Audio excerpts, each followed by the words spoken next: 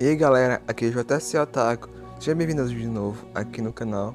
Estamos com mais vídeos de speed art. Hoje um vídeo é, bem anormal, sendo sincero. Alguns podem perceber que o título é, foi um título um pouquinho pesado, sendo assim sincero. É que o desenho que deu errado. Vocês entraram no vídeo por causa desse título. Mas eu vou explicar mais ou menos porque eu coloquei esse título no vídeo e todos os motivos. E vocês vão também perceber o desenho em si. É, vocês lembram daquele desenho do Kid Kai Knight, ou Kid Knight, dependendo da pronúncia, né, no inglês, que eu fiz, né, com Cavaleiro, uma criança Cavaleiro, pra quem não viu, é, eu vou tentar deixar o card, se não, é só ir no, aqui no, entrar no canal que você vai ver dos vídeos mais recentes, que é um, uma arte que eu fiz de um, um, um garotinho Cavaleiro, né, que ele, e que ele faz suas armas, algumas coisas que ele acha, né, no, algumas sucata ele faz, e eu queria fazer meio que um rivalzinho pra ele, né? Como aqueles personagens de Shonen, que tem um rival. Eu queria fazer um arqueiro, né? Pra ser aquele meio que medieval.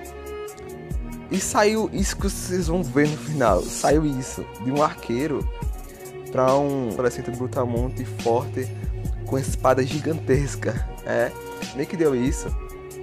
Porque os inscritos começaram a sugerir algumas coisas no meio da live, porque eu fiz em live. Só para lembrar que hoje tem live, hoje estarei de volta, hoje vai ser bem top. Conto com vocês, ok? E na live a galera sugeriu algumas ideias. Eu não queria deixar aquelas ideias pra lá. Eu digo, deixa o arqueiro pra lá. Desformulei a ideia e quis fazer algo assim. Não sei se esse vai ser o rival dele, né? Eu ainda tô pensando. Talvez eu deixe pra lá. Eu não sei nem se vai ser do mesmo universo do que o Knight. Mas deu nisso. E foi bem interessante eu desenhar ele e tudo mais.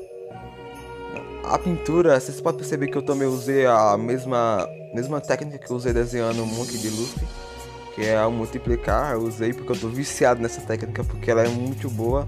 Não tô usando todos os desenhos, mas a maior parte tô usando porque a técnica é muito incrível. E não é muito certa, sendo sincero. Eu aprendi, demorei pra aprender, mas aprendi. E tô usando. E hoje foi só o videozinho de hoje foi só esse vídeo mesmo. Espero que vocês tenham gostado. Se você deixar o like e para quem não é inscrito, caiu aqui de paraquedas, se inscreve que aqui o conteúdo é bem interessante.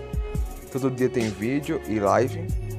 É, segunda, normalmente segunda não tem, mas vou tentar reorganizar o horário do canal.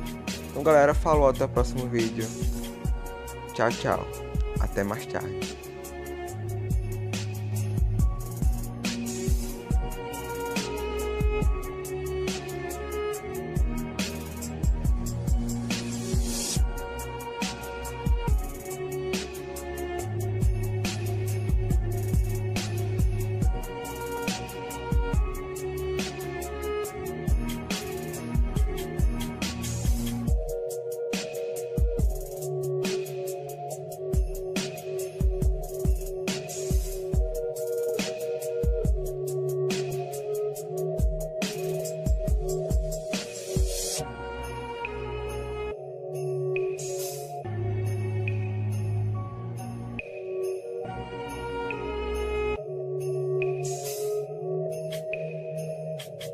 Bye.